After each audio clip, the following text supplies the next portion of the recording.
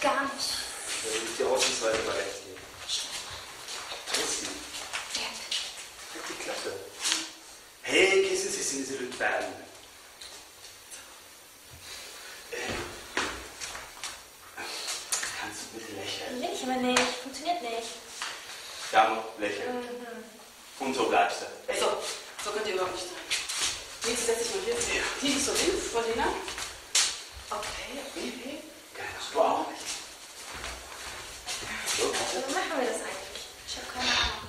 Ey, komm mal, ey, das sieht total pseudo-harmonisch gestellt aus, ja? Echt mal. Der fummelt mir am Ohr, der fummelt mir am Ohr. Könntest du bitte irgendwas sagen? Das ist nur seine Art, dir zu zeigen, dass er dich mag. Ja, äh, tamam. Drei, zwei, cheese! Nee, komm, jetzt auf jetzt. Du hast gesagt, ich soll mich aufhalten. Also ich habe schon mal zwei Tage aufgehalten. Boah, ekelhaft. Kannst du auch von sowas wie erzählen? Lena! Mama, der angeschrieben. Das war ein deutliches Anschreiben. Lächeln.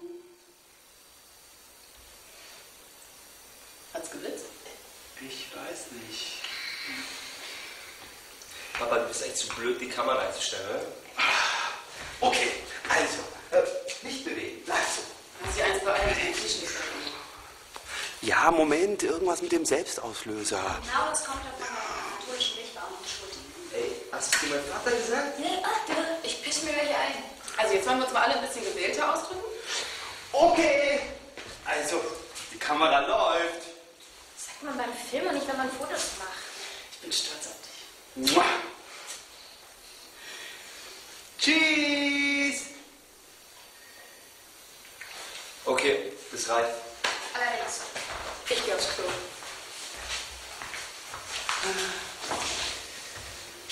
Warum haben wir eigentlich Kinder? Altersversorgung? Oh, jetzt! Schnell, komm! Hey, schnell! So, so, so. Okay, komm. Cheese!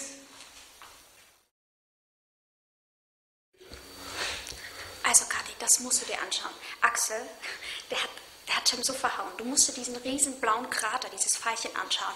Ich bin ja echt nicht schadenfroh, aber naja, ohne Worte. Pass auf. Cem? Dich bloß. Ist jetzt alles geklärt mit dir Axel? Ja, ja. Bist du froh? Ja, schon.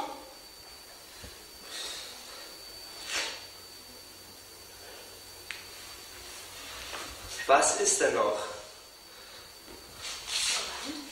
Sicher. Ein Scheißtyp schlägt wie ein hinterhältiges Mädchen.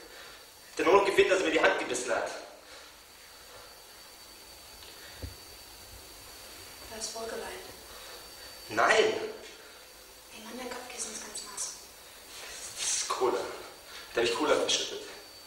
Sieht nicht gerade so aus, als seist du ein Typ, der Cola verschüttet hat. Ja, kennst mich halt nicht. Komm mal her. Beide haben gesehen, wie er mich fertig gemacht hat. Los, komm her. Komm her. Au! Mein Gott, stell dich nicht an, diesen Axel.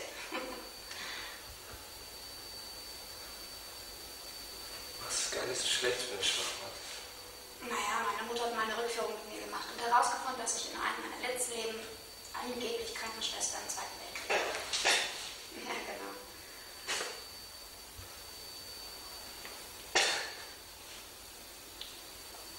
So, das reicht ja jetzt auch, ne? Ich muss dann auch mal. Du hin? Überlege ich mir auf dem Weg dorthin.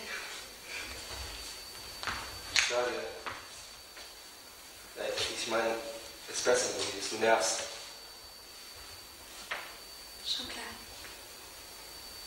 Hey. Du erzählst es doch keinem, oder?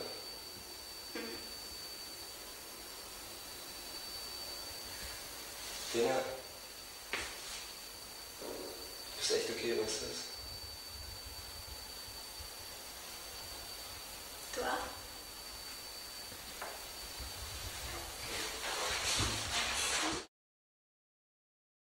Hey Kat, ich krieg bestimmt gleich wieder eine Gehirninfusion. Scheint sie in Sachen nicht so pessimistisch. Wenn, die, wenn du lächelnd durch die Welt gehst, lächelt die Welt auch zurück. Lena, kann ich reinkommen oder masturbierst du gerade? Nee, ich setze mir gerade eine Spritze Heroin. Sie haben die Kostennummern gewählt. Annika, hi, ich bin's Lena. Hier bitte die Sekundenpaper ein. Du, ähm, sag mal, wir wollten uns später bei Sabine treffen und ein bisschen lernen und DVD gucken. Ja, naja, klar, und später wollten wir dann auch, naja, ich weiß schon, wie das und meint und so vorbeikommen. Wiederholen Sie Ihr Kennwort. Ja, das wäre super. Also, also wenn ich es jetzt nicht vergesse, so, ähm, kannst du vielleicht noch Ulrike, äh, Christine und wie hieß sie gleich? Genau, Ola anrufen. Das wäre super lieb. Wir sehen uns später. Okay, bis dann, Imanski. Ich habe gerade mit einer Freundin telefoniert. Du hast Freunde gefunden am ersten Schultag. Das hätte ich ja gar nicht gedacht. Danke. Oh nein, so war das nicht gemeint. Ich dachte nur, weil du manchmal ja ein bisschen schwierig bist. Tja, ich bin offensichtlich ziemlich beliebt. Ich bin beeindruckt. Du entwickelst dich, Schatz. Das ist toll. Das ist ganz, ganz toll. Sonst noch was? Äh, äh, trifft ihr euch hier? Nee, wir treffen uns bei einem. Ich dachte bei Sabine. Ja, du weißt schon, die Sabine, die möchte irgendwann nochmal Anna genannt werden. Also ihr Ach so, Spitzname. ja, verstehe, verstehe. Äh, wann war kommst du wieder? Du, heute ist mal egal. Es wird doch immer erst richtig lustig, wenn es dunkel ist und man Flaschen drin spielen kann. Ah, Flaschendrehen ist Ich wirklich weiß nicht noch, mehr so als ich 16 war, aber meine Freundin Oh, schon. Nicht die Ulrike. Die Ulrike, die konnte richtig gut küssen. Ich habe ja damals gedacht, ich werde lesbisch. Ja, schade, warum eigentlich nicht? Dann hätte ich jetzt ein total entspanntes Leben als Eizelle. Du wirklich unausstehlich sein. Dito, das Kompliment gebe ich zurück. Ey!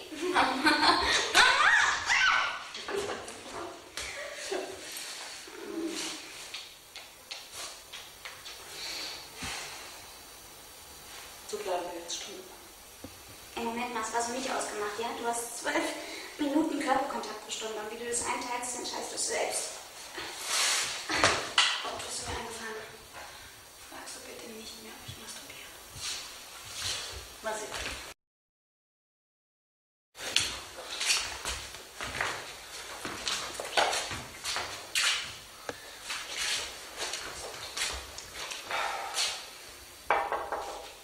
Jen, mach auf. Nein! Oh, wieso bist du so unfreundlich zu Jane? Die kann sich gleich an die Preise gewöhnen. Frauen wollen halt rangenommen werden. Das lernt man doch in jeder Doku. Was du guckst, das sind keine Dokus, das sind Pornofilme. Du sollst aufhören, am Schrank rumzubügeln, Mann. Und jetzt geh. Ich werde mich nicht vor ihr niedrigen.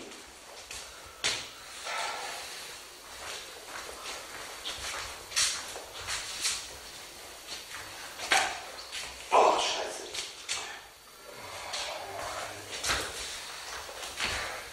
Du bist echt der schlechteste Polizist der Welt.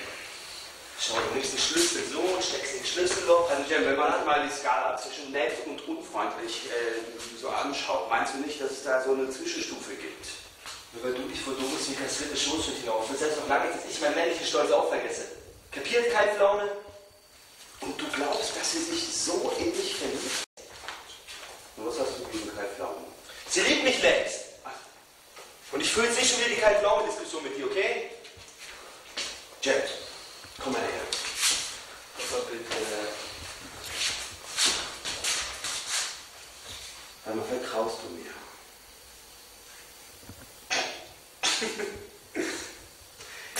Jen, das sind 50 Prozent meines Erbguts. Und ich habe bei deiner Geburt lauter geschrien als deine Mutter. Vertraust du mir? Ich vertraue dir, aber jetzt bitte nicht den Südländer-Vortrag, ja? Also, wir sind Türken, wir sind cool. Zumindest ich. Aber wir sind wie eine Medaille. Auf der einen Seite sind wir Cool. und auf der anderen Seite sind wir. Noch cooler? Nein! Auf der anderen Seite brennt das Feuer der Leidenschaft. Das Feuer, warum alle Frauen mit Türken Sex haben wollen. Und es wird Zeit, Jen, dass du lernst, dieses Feuer in dir zu entfachen. Das Feuer, das alle Frauen. Ah! Genau. Setz dich mal mit hin. Komm, komm, komm, komm, komm, komm. So. Sch- Lass dich gehen. Lass deine Gefühle fließen. Was machst du denn jetzt? Schreib dir, was du für sie empfindest. Was hinter dem Checker steht. Hm? Ja, ich muss gehen. Celine Dion?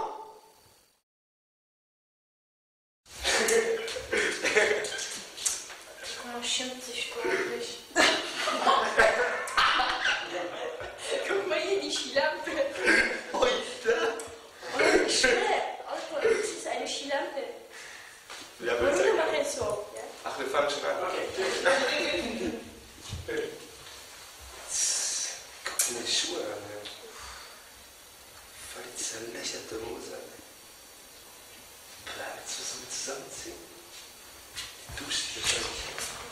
Hi, Hi, wie geht's euch? grüß dich. Ja, Jen, Lena. meine Schwester. Hi. Jagmo. Wie? Jagmo. Ja, genau. Lena. Und habt ihr euch das Haus schon angeguckt? Äh, ja. Schön. Gut. Geiles Tuch. So. Was ist es? Ist es immer auf? Wieso hast du ein Problem damit? Nee, gar nicht. Es ist schöne Farbe. Passt so zum, zur Haut. Okay. Ja, ist auch eine schöne Hose. Ja. No, ich hab einen Secondhand-Laden. Ging da so. Ich musste unbedingt. Secondhand? Ja, klar. Schönes Sachen. Ähm, Wieso ist auch sowas? Secondhand, okay. Also, wenn ihr irgendein Problem habt, dann sagt mir. Nee, nee. Okay. Okay, also soll das jetzt zusammen, zusammenziehen, ja? Ja, sieht so aus.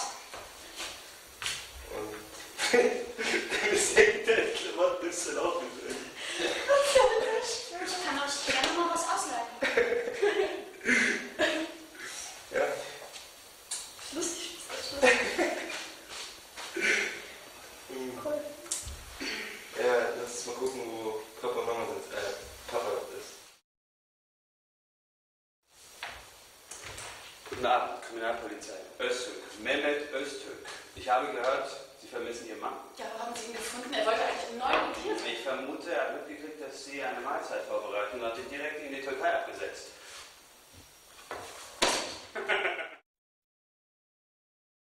Okay, also hallo, ich bin Emil Reinke, ich bin 14 Jahre alt und bin in der Agentur Next Generation.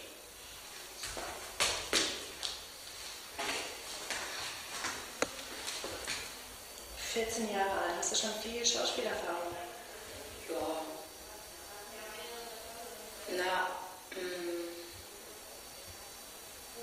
ich kann, komme jetzt ganz drauf an, wenn viel halt bezeichnet. Was hast du schon gemacht? Also ich habe mitgespielt in einem Musikvideo von, von der dritten Generation.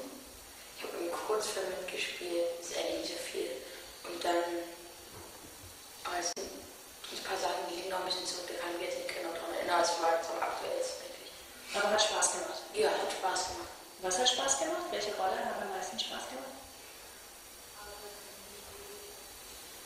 Ja, das hat Spaß gemacht. Also in diesem, Musikvideo von der dritten Generation geht es darum, dass ein Junge halt so ganz alleine ist, keine Eltern, er hat schon Eltern, aber alle ärgern ihn so und er hat halt immer so, wird halt immer so ein bisschen rumgeschubst von allen und ist immer so, so ein bisschen introvertiert, kann man sagen. Und das hat eigentlich Spaß gemacht, weil man mal ganz anders dann ist. Und dann, ja, dann musste ich auch, habe ich so eins auf, auf vorne von die Nase bekommen, also so hier so hin.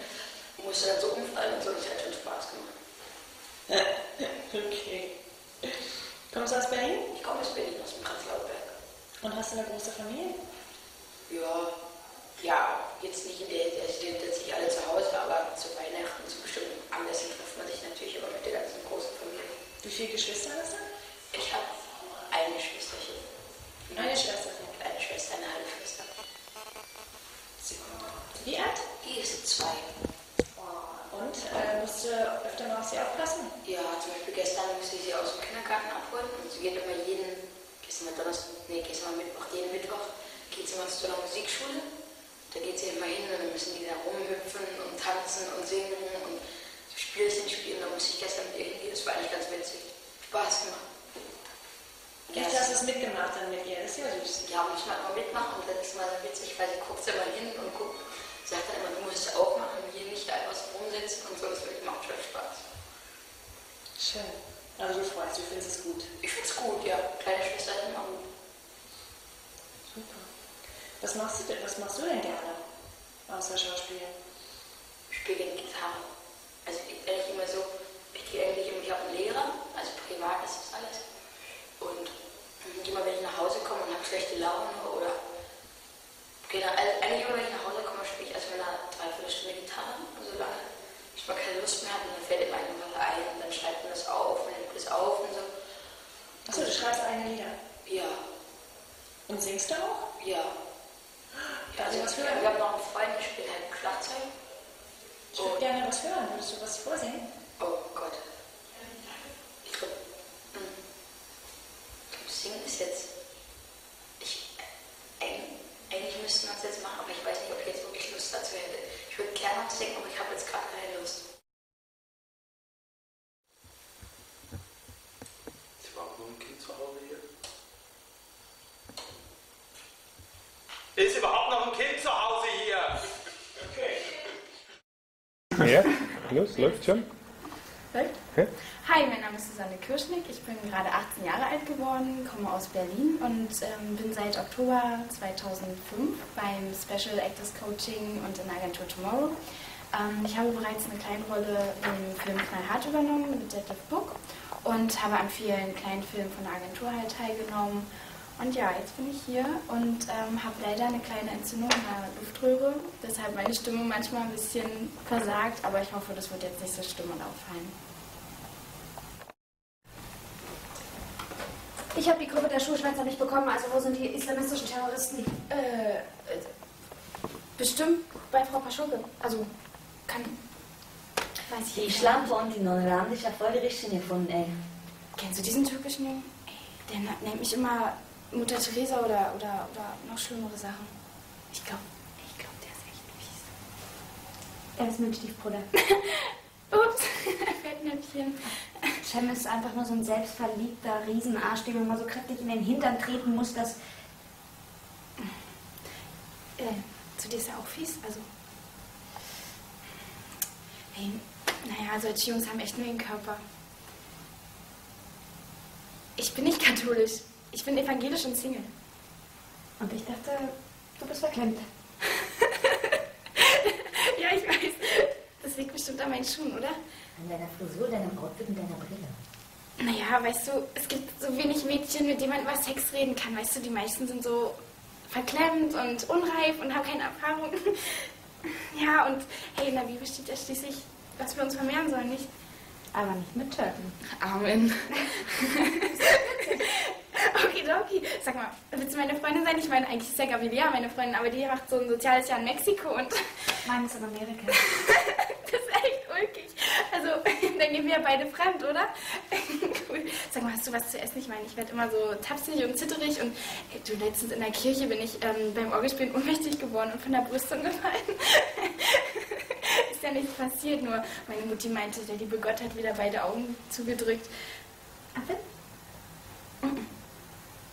Ist irgendwas damit? Ähm, äh, ich ich habe Angst vor Äpfeln. Also, der ist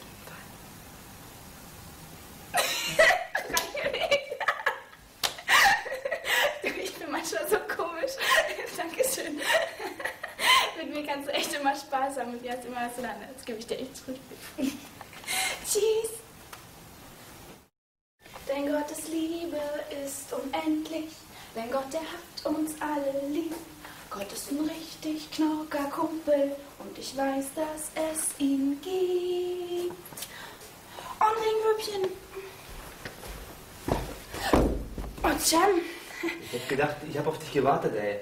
Ähm, ach so, ja. Äh, wir waren verabredet. Ja, das ist jetzt eine dumme Sache. Also, weißt du, meine Mutter und. Lachst du über mich? Nein, nur weil ich habe schon gedacht, du wolltest mich voll verarschen oder so. Weil ich habe irgendwie in letzter Zeit nur so scheiß Erfahrungen mit Mädchen gemacht, weißt du? Du? Ich dachte, du bist so ein cooler Rim. Pimp. Du meinst Pimp. Bin ich auch. Aber auch nicht immer so, ne? Du. Du hast ja ganz blaue Lippen. Also. Oh, äh. Ich habe auch schon drei Stunden auf dich gewartet. Und wir Türken vertragen Regen nicht so gut, weißt du? Ja, dann, dann gehst du am besten gleich nach Hause unter die warme Dusche und. Kommst du mit? Duschen?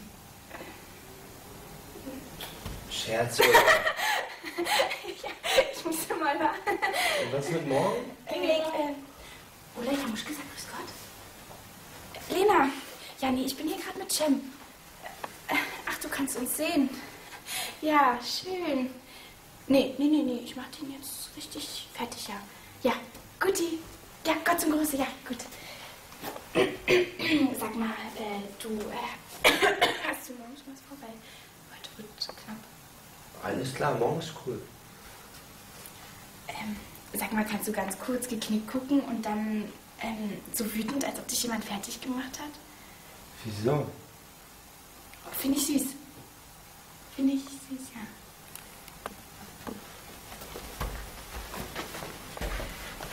Vergessen gute Nacht zu sagen.